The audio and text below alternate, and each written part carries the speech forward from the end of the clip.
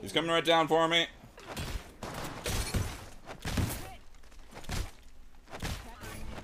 Yeah, you bitch!